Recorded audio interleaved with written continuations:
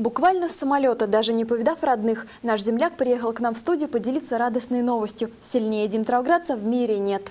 Финал я боксировал с поляком.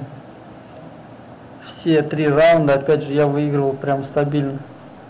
Ничего даже, даже шанса ему как бы не дал.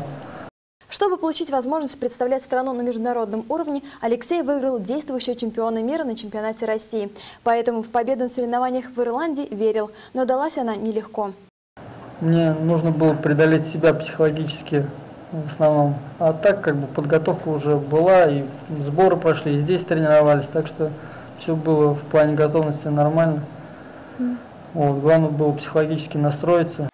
Но кикбоксер справился, и теперь пояс мирового победителя в России, а точнее в Димитровграде. Алексея расстраивает одно – кикбоксинг – не олимпийский вид спорта. И поэтому дальнейшая цель чемпиона – подтверждение мастера спорта международного класса. Евгения Креминская, Евгений Ерофеев. Новости Димитровграда.